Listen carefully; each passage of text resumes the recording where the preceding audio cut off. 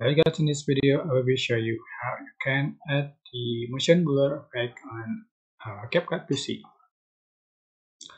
Alright, select your video you like to edit and go to effect, select video effect and go to uh, lens. You can find motion blur effect, just add the track. Just for duration in the same length with the video. So you can adjust for the option in the right so I can just put horizontal option to um, 47 and strength to 60 alright you can find the uh, motion blur on your video.